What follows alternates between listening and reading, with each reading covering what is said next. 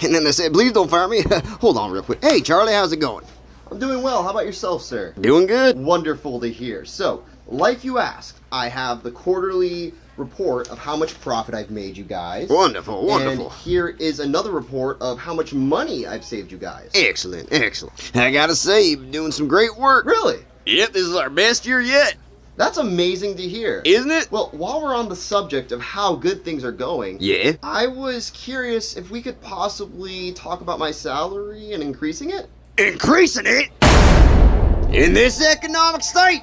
What, what, do you What do you mean? What do you mean? What do you mean? This has been a really difficult year for us. Profits are at all-time You low. just said this is our best year yet. Now that's a bold-faced lie. We are basically losing money every second that you are employed here. You should be kissing my feet right now for letting you work. Listen, it's been rough for everybody. I couldn't even get a million dollar bonus. I only got 950,000. So here's what we're gonna do. We're gonna throw you a pizza party. How's Little Caesar sound? But I just- Shut it! You're lucky I don't fire you based off your poor performance. Now, you're gonna take this pizza party and you're gonna like it. Well, that is just so wonderful of you to offer. Thank that. you, I'm an impact. I actually have a counter offer for your counter offer. oh, really? Okay. I have a gun.